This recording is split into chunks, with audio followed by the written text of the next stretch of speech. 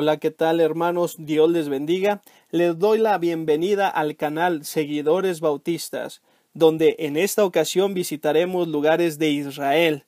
Así que prepárense y comenzamos. Empezaremos nuestro recorrido con el huerto del sepulcro podemos ver en Juan capítulo 19, versículo 40 al 42 unos datos importantes. Por ejemplo, una nueva sepultura labrada en la roca, dos, una cisterna para así poder regar el huerto y tres, estaba a unos metros del monte de la calavera. En el Gólgota o monte de la calavera era el lugar de las crucifixiones.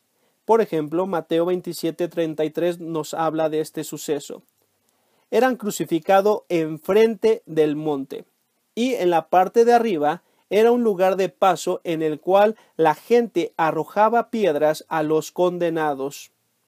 Después de la crucifixión, el Señor Jesucristo fue llevado al sepulcro, como dice en Juan 19:42, como Lucas 23:50 al 53, Marcos 15:46 y Mateo 27:60. Un dato importante es que Pedro y Juan corrieron al sepulcro. Juan llegó primero, y él pudo observar los lienzos, pero no entró. Pedro, sin en cambio, él pudo entrar y no le halló. Este relato está en Juan capítulo 20, versículo 4 y 5. Y como dice esta escritura, Él no está aquí porque Él ha resucitado. Es el turno para observar el monte de los olivos el cual nos hace referencia en la Biblia a varios pasajes, por ejemplo, la ascensión del Señor Jesucristo en Hechos 1 del 6 al 12 y el retorno en Zacarías 14 4.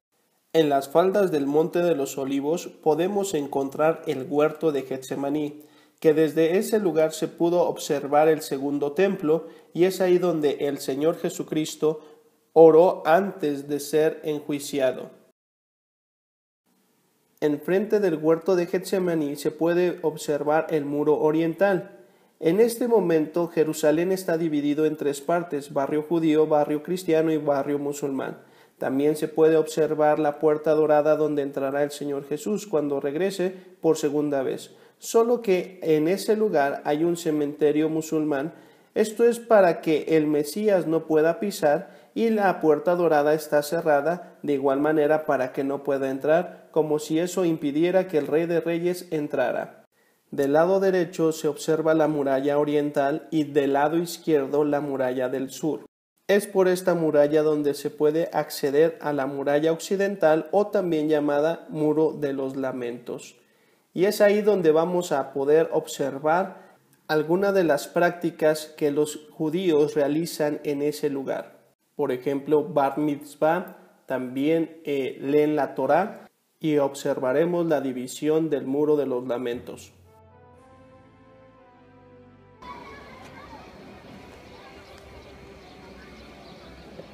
Estamos en el muro de los lamentos, como pueden ustedes observar, es aquí eh, donde viene el pueblo judío a hacer sus oraciones y es donde dice que está más cerca de Dios.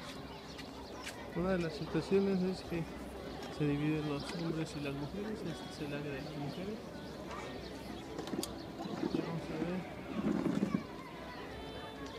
el área de los hombres, en el cual se nos proporciona una equipa, si es que nosotros no tenemos. Están haciendo los bar mitzvah, el rezo.